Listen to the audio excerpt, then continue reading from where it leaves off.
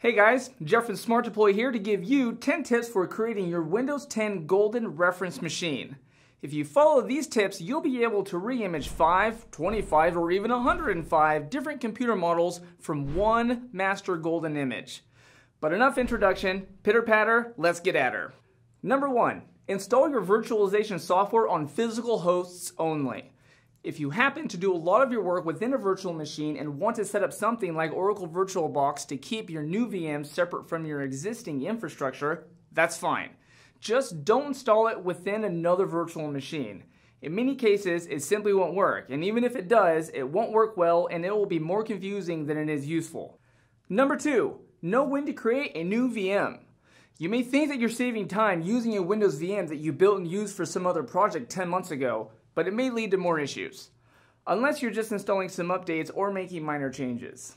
If you're making a major version change or update to the OS or other installed applications, consider creating a new VM. Number three, no physical to virtual conversion disks. Just like point number two, you aren't doing yourself the favor you think you are by the shortcut of converting a physical to virtual disk. Your image is going to come with all the drivers from the physical system, and that's not something you want in this case. You're just going to pull over a bunch of garbage that's going to be more troubleshooting and more testing. Don't do it. Number four, use Gen 1 VMs in Hyper-V and do not use UEFI in VMware. Adding Secure Boot and the features that come with UEFI and Gen 2 Hyper-V virtual machines aren't something you need enabled for a simple reference VM and can often interfere with the image capture process, so skip them. Number 5. Fresh Windows 10 is the best Windows 10. Create the VM with the latest version of Windows that you want to run.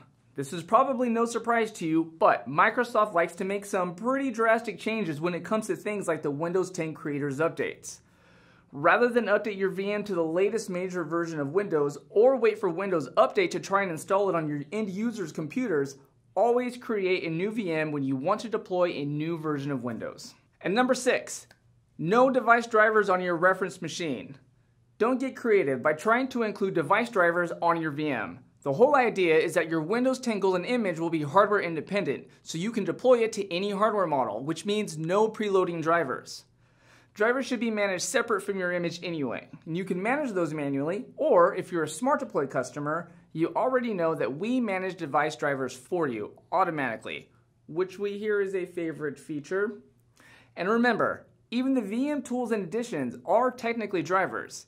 If you use RDP to configure your VM, you won't even miss them, so skip them. And number seven, consider leaving out antivirus software. Antivirus software does its job really well, even when we're not doing anything malicious. It's a pain, but rather than include it and find out that it breaks the deployment process, skip it and use a deployment task or group policy to install it post-deployment. Number eight, don't open Office 365 apps after you install them. The first time that you run an Office 365 app, it performs some configuration that doesn't survive sysprep generalization and can break Office, requiring reinstallation. You're good to include it on your image, just don't launch any of the apps after you do. And number nine, return to workgroup. I prefer to not join my reference VMs to a domain in the first place, but if you have to, remember to return to a workgroup and restart once before doing your last shutdown and capture of your golden image. And finally, number 10, shut down. When you're ready, give the VM one more reboot, then use the shutdown command to shut down the VM. This command is shown here on the screen with the power of video editing. Anyways, just don't hit power off. And if you're using SmartDeploy, do not run sysprep because we handle this for you automatically at deployment time so that your reference VM can be easily updated or changed if needed. Now, if you're using another imaging solution, you'll need to follow their documentation regarding if or when to run sysprep. And there's your 10 tips for creating your Windows 10 reference machine. Follow this guide and you'll be on the road to fewer headaches and on-time departures from the office. If you still have questions, please share them in the comments below, and have a good one.